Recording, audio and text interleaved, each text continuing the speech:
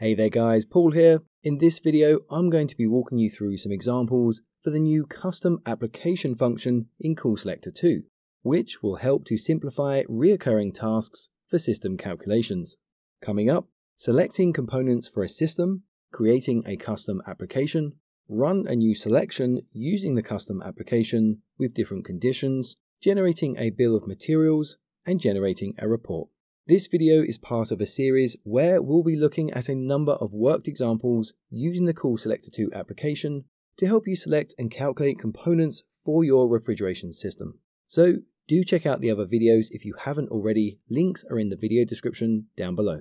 To simplify reoccurring tasks for system calculations, CoolSelector 2 has a new function that helps users to specify their own application package. Users can include compressors and condensing units, components in series, controllers, sensors and switches, etc.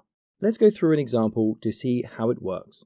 We will head to the compressors and condensing unit option and then select condensing units. We will select refrigerant R134A from the drop-down options and then define the operating conditions as 4 kilowatts of cooling capacity, an evaporation temperature of negative 8 degrees Celsius, an ambient temperature of 32 degrees Celsius, with 2 kelvins of subcooling. We will be using a 50 Hz electrical supply, and we will also select the 220 and 400 volt three-phase power supply options. The results are now filtered, and we can select one which best suits our application. In this case, I will choose the Optyma Slim Pack model, which meets the cooling requirements and it can be used for outdoor installation. Now to select the liquid line components. We open a new tab and head to the Components in Series option. Then, on the dry system diagram, select the liquid line.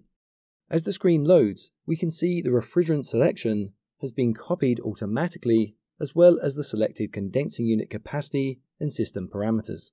We can then choose our connection type, and for this example, we will choose the ANSI soldering. Now we can add additional system components. I will add a filter dryer and I can add this by double clicking the product family, in this case the DCL type, and now it appears in the system diagram. Then I will add a sight glass. I'll choose the SGP type for this example. Then I will select piping and add a straight pipe as well as a 90 degree bend. Now we will add a distributor to the system to account for the pressure drop it causes to the system. Finally, we add a thermostatic expansion valve and I will choose the TU-TC type. We can then click and drag the expansion valve to the correct position before the distributor. We can click on the components, for example the expansion valve icon, and select a different option if needed. Now for the suction line. We open a new tab, and under the Components in Series option, we select the suction line of the dry system diagram. We can again notice that the refrigerant, connection type, and operating conditions have been copied across. To keep this part simple, we will just add a 90 degree bend to this part. Now we can double click the tabs to rename them. I'll call this one the suction line and this one the liquid line.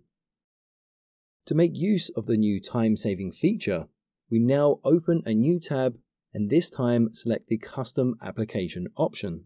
Then we click add and a pop-up will appear asking for an application title. I will just call this one Optyma Slim Pack System. We can add a subtitle if needed. We can also add an image also, perhaps a client logo. However, I will just use an image of the Slim Pack condenser for this example. Then we just select the tabs we would like to include and click OK. If we click the Share button, a window will appear giving us the option to select and share our custom applications. We can also import custom applications by using the button in the top right and locating the file on our computer.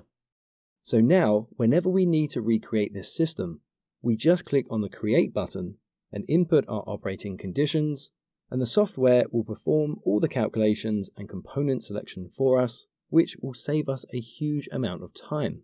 But what if we want to add additional components? That's fine, just open up a new tab and, for example, select the Electronic Controls option then case controller, and make a selection.